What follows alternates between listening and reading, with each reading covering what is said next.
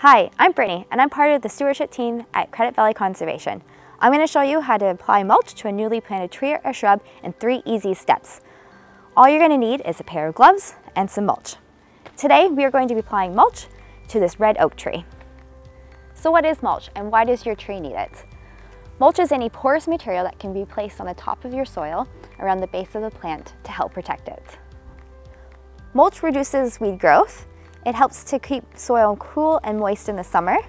It insulates roots in the winter, and it even feeds the soil as it decomposes. In addition, the mulch also provides a barrier to grass that's going near the base of your tree, which keeps lawnmowers and weed trimmers at a safe distance. Any nicks can cause serious damage or even kill your tree. On that note, let's start mulching. Step one, selecting your mulch.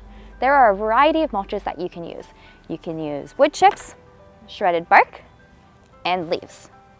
Now, if you're purchasing wood chips or shredded bark, make sure to get natural, undyed for the best results.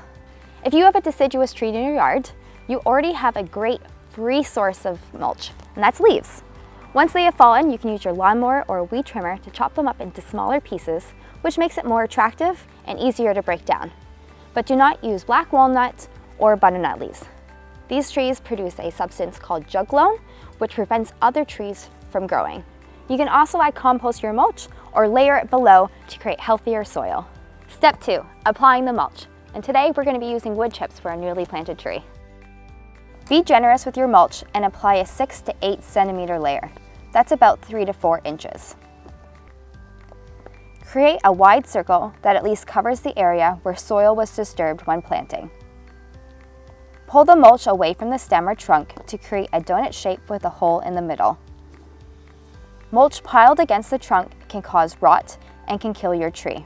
We remind people not to create a mulch volcano, but instead make a mulch donut. As we've mentioned, mulch naturally decomposes or breaks down over time so you will need to add a new layer about once a year to maintain that 6 to 8 centimeter layer. With these three steps, you'll give your tree or shrub a great start to a long and healthy life.